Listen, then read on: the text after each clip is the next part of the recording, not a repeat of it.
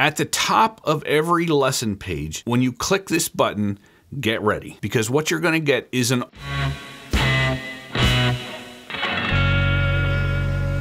Over the past 16 years, I've uploaded over 300 free lessons here to YouTube. There have been so many great licks, rhythms, and sometimes even entire solos that I've taught note for note here on YouTube. But I can honestly say today in 2024, if you're still trying to go through my old lessons here on YouTube, you are literally wasting your time. So let's think about it for a second. Let's say that you want to find the fastest licks that I've ever taught in my free lessons.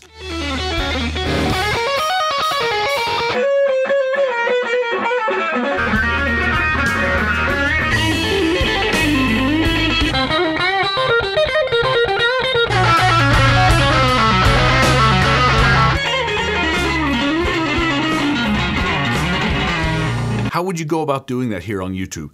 Even if it were possible to search my channel to find those, you'd have to go through them one by one, and who knows how far into the lesson you'd have to listen to me talk before you hear what you're trying to learn. And let's be honest, you'd probably get one, two, maybe three videos in before you give up and you click away to watch something else that requires less work.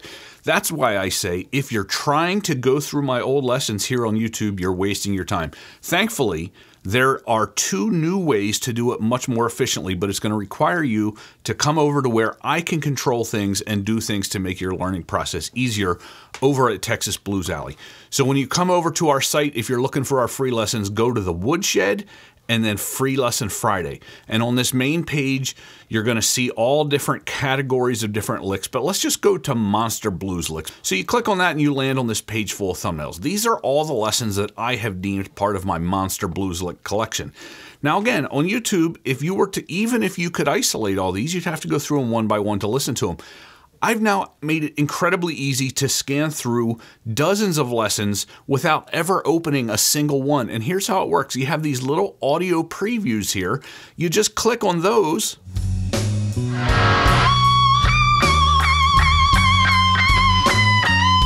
If at any point you decide, eh, that's not for me, you just click on another one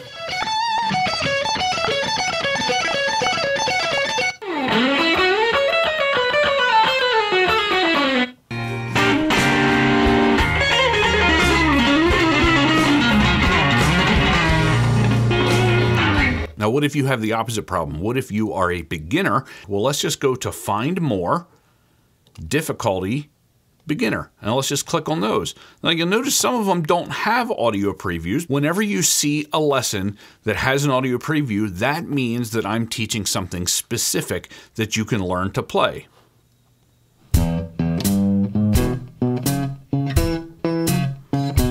So you can go through as a beginner or an advanced player and quickly identify lessons that teach something that's at your skill level.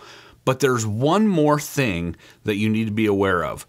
At the top of every lesson page, you're going to see this button that says Lesson Jukebox. When you click this button, get ready because what you're going to get is an audio player. By default, these will just continue to play in reverse chronological order as long as this repeat button is on. Anytime a new lesson loads, you're going to get a little preview here, and if you like what you hear, you just click go to this lesson and it opens that lesson in a new tab. But back at the jukebox, we can also put on shuffle mode. And you can just sit here and listen. Eh, I don't like that.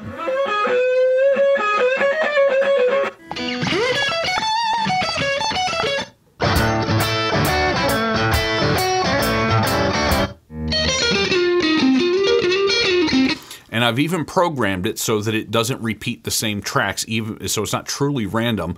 Uh, if you would just let it sit here and play through all of them without reloading the page, it wouldn't repeat any of them. Now, as you can tell, this is not just for free lessons. If you've ever wondered, what solos do I teach in my courses? You can now just go to the solo, the courses here, click on that. Basically, I've done the same thing with all of the solos and rhythms that I've taught in all of my courses.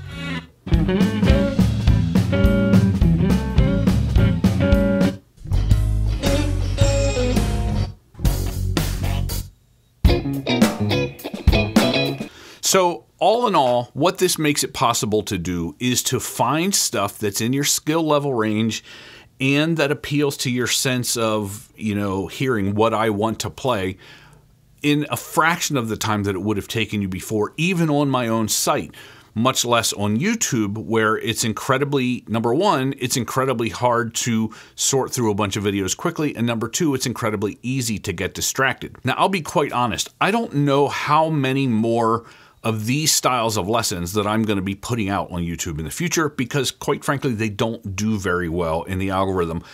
Most people are not watching YouTube with their guitar in hand to learn something anymore. There's far too much entertainment there. So if I continue to do lessons, they will most likely be lessons that are designed to be kind of infotainment, things that you can learn from just watching without having to have your hands on the guitar.